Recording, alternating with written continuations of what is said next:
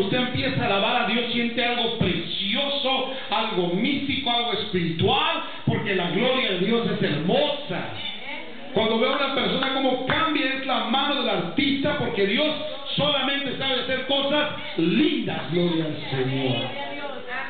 He traducido cuando he predicado acerca de la creación y he dicho que la mejor traducción del texto hebreo, cuando el Señor dijo, qué bien me quedó todo, sería lo más exacto decir en español que Dios vio todo y dijo, qué lindo me quedó todo. Y esto es lo que Dios había hecho, algo lindo, lleno de árboles. A mí, hermanos, me encanta el bosque. En la Ciudad de México alrededor hay muchos bosques.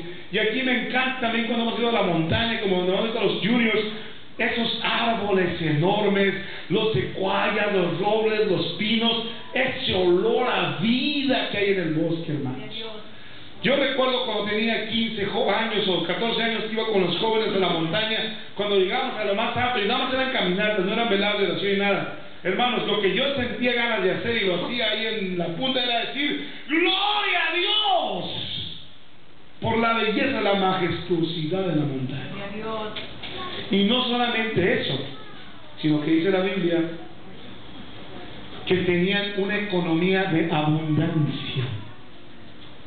Dice la escritura que estos árboles les daban frutos buenos, digan conmigo, buenos y apetecibles.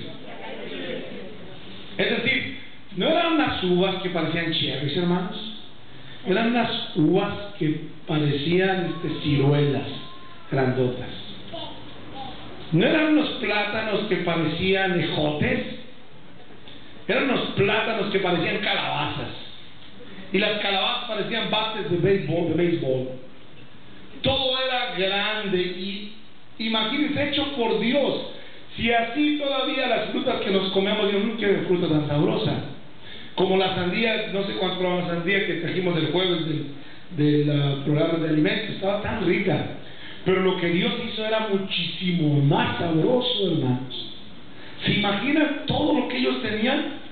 Usted no tenía que trabajar, todo su trabajo era este.